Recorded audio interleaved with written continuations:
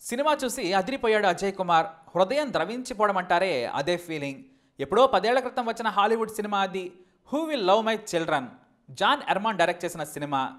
తల్లికి క్యాన్సర్ వస్తోంది. పది మంది పిల్లల బతికేం కావాలి? పట్టించుకొని భర్త. అలాని తల్లి పిల్లల్ని అనాథల్ని చేయలేదు. ఒక్కొక్కరికి ఒక్కో గూడు చూపించాలి. చివరి క్షణం వరకు ఇదే తపన. ఎట్టకేలకు సాధిస్తోంది? తృప్తిగా కన్నుమూస్తోంది నిజంగా జరిగిన కథ ఇది. దీన్ని ఆధారంగా చేసుకొని తెలుగులో ఓ సినిమా చేద్దామనుకున్నారు నిర్మాత K S Ramarao. Abhilasha Challenge లాంటి సూపర్ హిట్లు తీసిన నిర్మాత ఆయన. అజయ్ కుమార్ని కొంగుచాట కృష్ణుడితో దర్శకుడిని చేసింది ఆయనే. అతని రెండో సినిమా కోసమే ఈ కసరత్తులు. స్క్రిప్ట్ పని మొదలైంది. సత్యమూర్తి సంభాషణలు రాయటం మొదలుపెట్టారు. అప్పుడే ఓ బాంబ్ పేలింది. ఆల్రెడీ ఇదే కథతో జయసుధన పెట్టి సీనియర్ దర్శకుడు పిసి రెడ్డి కాలచక్రం అనే సినిమా చేస్తున్నారు. చాలా వరకు షూటింగ్ కూడా అయిపోయిందట. ఇప్పుడేం చేయాలరా దేవుడా అని తలపట్టుకున్నాడు అజయ్ కుమార్.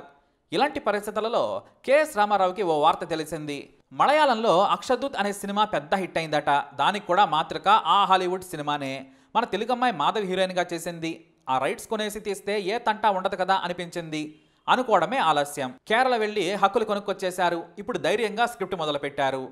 అదే సమయంలో కెఎస్ రామారావు అంగరక్షకుడు సినిమా చేస్తున్నాడు. రాజశేఖర్ హీరో.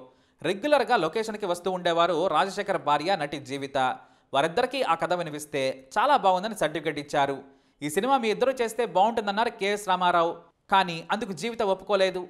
ఎందుకంటే అప్పటికే వారికి పెళ్ళయింది. పెళ్ళయ్యాక నేను నటించకూడదని నిర్ణయించుకున్నానని జీవిత చెప్పేసింది. మలయాళ మాతృక చేసిన మాధవికి ప్రత్యామ్నాయం ఎవ్వరూ దొరకలేదు. ఇక మాధవికే ఫిక్స్ అయిపోయారంతా. అప్పటికి ఆమె తెలుగు సినిమా చేసి కూడా ఐదేళ్ళు అయింది మరి మాధవి భర్త పాత్రకు ఎవరిని తీసుకోవాలి? రకరకాల ఆప్షన్లు. కెఎస్ రామారావుతోనే ఆ పాత్ర చేస్తే బాగుంటుందని అజయ్ కుమార్ ఆలోచన. కానీ ఆయన ఒప్పుకోలేదు. ఫైనల్గా నాజర్ను తీసుకున్నారు. మాధవి పెద్ద కూతురు పాత్ర కూడా సినిమాకు కీలకం. వెంగళం అనే మలయాళ సినిమాలో అద్భుతంగా నటించిన పన్నెండేళ్ళ అమ్మాయి బేబీ సీనాను ఏరుకోరి ఎంచుకున్నారు. మిగిలిన పిల్లల పాత్రలకు మాస్టర్ మార్టిన్ మాస్టర్ ఫణిని తీసుకున్నారు. ఇకపోతే మ్యూజిక్ ఈ సినిమాకు రీ రికార్డింగ్ ప్రాణం అలా ఎలా ఉండకూడదు? సినిమా అణువణువులోనూ కరుణ రసం స్వరాల్లో ఉప్పొంగాలి. అప్పుడు కీరవాణి హవా బాగా నడుస్తోంది. పెద్ద పెద్ద సినిమాలన్నింటికీ కూడా ఆయనే దర్శకుడు. మరి ఆయన ఎంత చిన్న సినిమా చేస్తారా? ఓసారి రిక్వెస్ట్ చేద్దామని అజయ్ కుమార్ బయలుదేరాడు. సరిగ్గా అదే సమయానికి మద్రాసులోని ఏవిఎం స్టూడియోలో పని పూర్తి చేసుకొని కారులో బెంగళూరు వెళ్ళడానికి కీరవాణి సిద్ధమవుతున్నారు. ఓ ఐదు నిమిషాలు మాట్లాడాలి అని చెప్పి పక్కకు తీసుకెళ్ళాడు. అప్పటికప్పుడు కథ చెప్పేశాడు అజయ్ కుమార్. కీరవాణి వెంటనే ఈ సినిమాకి నేనే చేస్తున్నాను అని చెప్పి అప్పటికప్పుడు రెండు బాణీలు కట్టేశారు. తన అసిస్టెంట్ని పిలిచి వాటిని వేటూరికి ఇచ్చి పాటలు రాసేయమని పురమాయించేశారు. హైదరాబాద్కి నలభై కిలోమీటర్ల దూరంలోని నరసాపూర్లో ఎన్సిఎల్ ఫార్మ్స్ ఆవరణలో ఓ ఇంటి సెట్ వేశారు. పంతొమ్మిది వందల తొంభై మూడు జూలై ఒకటి నుంచి ఆగస్టు పంతొమ్మిది వరకు ఏకదాటిగా షూటింగ్. ముప్పై ఏడు లక్షల రూపాయల ఖర్చుతో సినిమా సిద్ధం. పంతొమ్మిది వందల తొంభై మూడు అక్టోబర్ ఇరవై రెండున సినిమా రిలీజ్. ఓ థియేటర్లో పది టికెట్లు ఇంకో థియేటర్లో పదిహేను టికెట్లు తెగాయి. టోటల్గా రాష్ట్రం అంతా ఇదే పరిస్థితి. చూసిన వాళ్ళంతా బాగుందంటున్నారు కానీ బొత్తిగా చూసేవాళ్ళు కరువు. వారం గడిచింది థియేటర్ యజమానులకు ఫలితం తెలిసిపోయింది. ఇక ఈ సినిమా ఫ్లాప్ గట్టెక్కటం కష్టం. కెఎస్ రామారావుకి ఫోన్ చేసేశారు. ఆయన మాత్రం స్టడీగా ఉన్నారు. కాన్ఫిడెంట్గా ఉన్నాడు కెఎస్ రామారావు. ఏం పర్వాలేదు ఇంకో రెండు వారాలు చూద్దాం. మీ నష్టానికి నాది పూచి.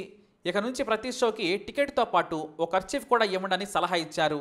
ఎవ్వరికి ఏం అర్థం కాలేదు. చివరికి సినిమాకు వచ్చిన ప్రేక్షకుడికి కూడా ఖర్చీఫ్ మేమేం చేసుకోం అనేశారు. కానీ లోపలికెళ్ళాక అర్థమైంది అందరికీ. మనసుకు గండి పడింది. ఒకటే కన్నీళ్ళ వరద.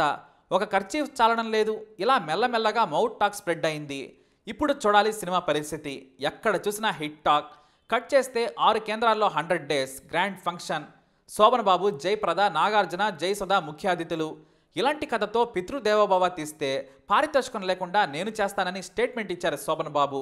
ఇక రాజశేఖర్ అయితే నాచర పాత్ర నేను చేయాల్సిందేనని బాధపడ్డారు. సంగీతం సాహిత్యం ఛాయాగ్రహణం సంభాషణలు అభినయం అన్నీ కూడా కలిసి మనసుని బరివెక్కించేసి కన్నీళ్ళు పెట్టించేస్తాయి.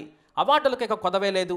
తృతీయ ఉత్తమ చిత్రంగా రాష్ట్ర ప్రభుత్వం నంది అవార్డు గెలుచుకుంది. ఇక ఇవన్నీ కాదు కానీ రాలిపోయే పువ్వా నీకు రాగాలెందుకో పాట రాసిన వేటూరికి ఉత్తమ సినీ గీత రచయితగా నేషనల్ అవార్డు దక్కింది.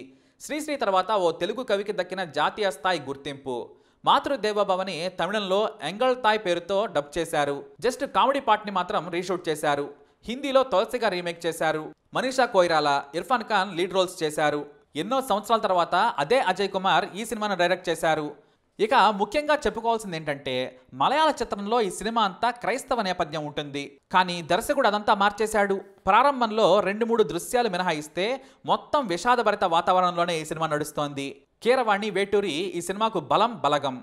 మాతృదేవాబావ చూడండి అమ్మ మనసు తెలుస్తోంది. కన్నీళ్ళ వెలువ తెలుస్తోంది. అనుబంధాల అనువాదం తెలుస్తోంది. గడ్డ కట్టిన విషాదపు లోతు తెలుస్తోంది. రాలిపోయే పువ్వు పలికే రాగాల మోగ వేదన తెలుస్తోంది. మరి మాతృదేవోభవపై మీ అభిప్రాయాన్ని కమెంట్ ద్వారా తెలియజేయండి. అలాగే వీడియోని లైక్ చేయండి షేర్ చేయండి మా ఛానల్ని సబ్స్క్రైబ్ చేసుకోండి.